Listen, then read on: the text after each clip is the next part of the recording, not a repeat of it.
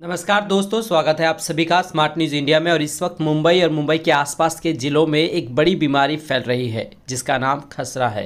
जी हाँ खसरा इतनी तेज़ी के साथ फैल रहा है कि इसके लिए बीएमसी ने संदिग्ध खतरे को पता लगाने के लिए घर घर सर्वे करने का निर्णय लिया है। यानी मुंबई तथा रायगढ़ ज़िले में जो खसरा पूरी तरह से फैल चुका है, उस पर संक्रमण को जो है रोकने के लिए जो है ये निर्णय लिया गया है। बता दें कि अभी तक पनवेल महानगर पालिका की टीम खसरा रुबेला को खत्म करने के लिए घर घर जाकर सर्वे करने जा रही है। खसरे के खिलाफ टीकाकरण एक प्रभावी उपचार है और इसके लिए आयुक्त गणेश देशमुख ने सभी चिकित्सा स्वास्थ्य अधिकारियों को टीकाकरण की गति बढ़ाने तथा टीकाकरण के लिए बच्चे को जो है विशेष टीकाकरण देने की जो है व्यवस्था करने का निर्देश दिया है। बता दें, आपको लगातार तेज़ी के साथ खसरे की बीमारी पूरे मुंबई कर्स और आसपास के जिलों में फैल रही है, जिसकी वजह से चिंता का विषय बना हुआ है। बता दें, इसके पीछे जो सबसे बड़ी वजह बताई जाती है, वो ये साफ़ सफ़ाई, दूसरी तरफ़ यहाँ पे लोगों के संपर्क में आने से और टीकाकरण की कमी की वजह से ये बीमारी फैल रही है, इसलिए थोड़ा सावधानी बरतें और बहुत ही जल्द जहाँ बीएमसी इसके ऊपर पूरी तरह से काबू पा लेगी